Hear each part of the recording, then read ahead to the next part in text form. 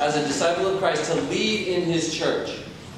We're going to have a great meeting today, starting at 12:30. This is for all who are leaders right now, and all who feel moved by the Spirit to be part of God's great mission. Please come. We're going to be in the children's ministry area, and we're going to provide lunch, and it's just going to be a great time of growing in our faith. Amen. Amen. Please stand.